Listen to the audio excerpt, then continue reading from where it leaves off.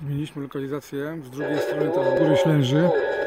Odsłonięte mamy e, północno i wschodnią część Polski. Ślęża nam zasłania za południe. Czechy tutaj te z pradziada ledwo co tak na pograniczu, bo są dokładnie z tyłu. Robimy scan band pełny. Co nam tutaj pokaże?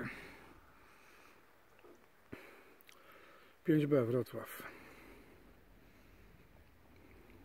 Przeszedł jak burza przez większość pasma. No, jakieś cztery stacje wczytał.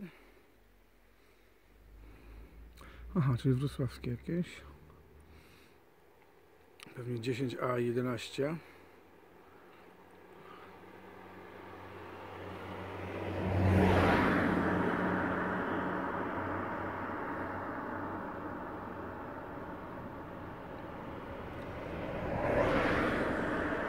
No i z czeskimi tu jest problem, bo jesteśmy teraz w Sulistrowiczki, druga strona, tam mamy Wrocław, tam mamy północ, tu mamy północny wschód, a południe jest pozasłaniane tam śleżą z tamtej strony.